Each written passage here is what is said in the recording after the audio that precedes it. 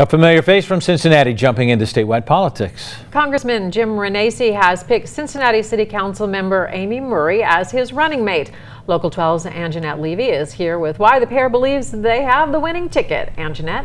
Well, Paula and Brad, Jim Renacci has been in Congress since 2011, but he says he and Amy Murray are actually outsiders, and he believes their business experience will set them apart from other Republicans in the race.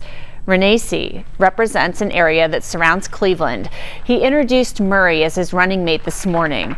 Murray is well known here in the Cincinnati area from her time on city council.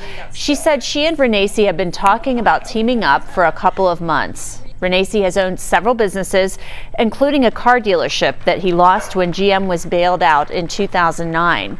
He's also aligned himself with President Trump, saying he's the only candidate for governor who supported him from day one. The reason you don't know me is because I'm not part of the problem. I'm not a career politician. I'm not the guy who's been around the state for years and years and years.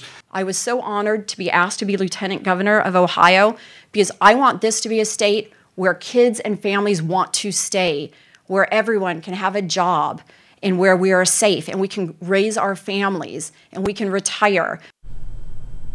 Renacci and Murray will challenge Attorney General Mike DeWine and his running mate John Husted in next year's Republican primary. Current Lieutenant Governor Mary Taylor is also running, and she's planning a stop here in Cincinnati on Wednesday.